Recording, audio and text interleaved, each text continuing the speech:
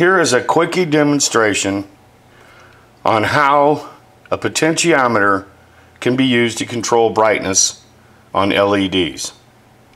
You have one leg, two legs, three legs, three legs coming off of these three taps of this potentiometer. Either one of these can be the power in and the yellow one, the center one, can be the power out. In fact, it's the only way to really do it. Okay, your center tap gives you your control. Your control is right here as you change, twist, and turn the knob on this potentiometer.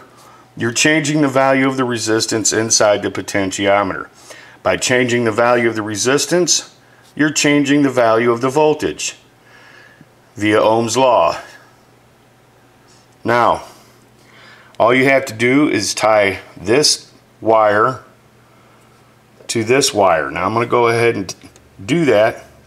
Here you've got your uh, power or your one of your power wires or one of your output wires going to your LEDs and this is your control tap. I'm going to put the battery in between the control tap and the LEDs.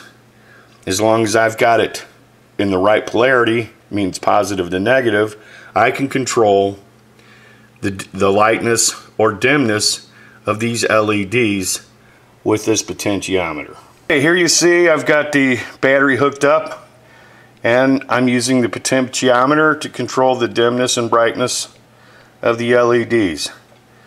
It's that simple. Now since I've already got this wired and soldered together, I'm going to go ahead and send you this potentiometer as is.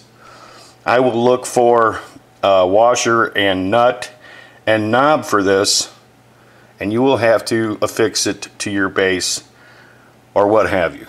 But this is already soldered and ready to go and you know it works. There you go.